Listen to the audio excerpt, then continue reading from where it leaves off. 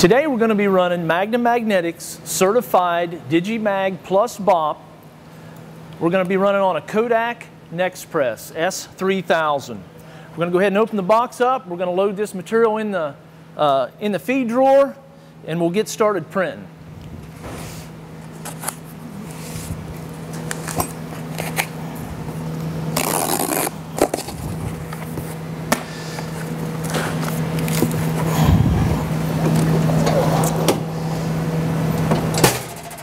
Now on the Kodak Nexpress, it's important that you load the material upside down. The printed surface will be face down in the drawer. It's also important to maybe give it a little bit of air.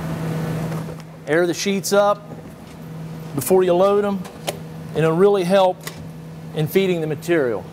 Now we have our Kodak Nexpress certified material from Magnum Magnetics. We got it loaded in the, the feed tray uh, print side down. Um, we're ready to shut the drawer and we're going to get started, started printing.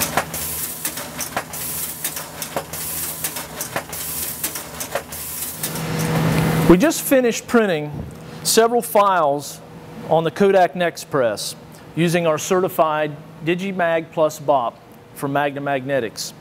Uh, this material is unmagnetized.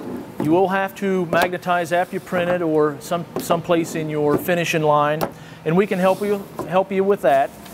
Um, you can go to our website, magnummagnetics.com, or uh, you can call me and we'll answer any questions you have.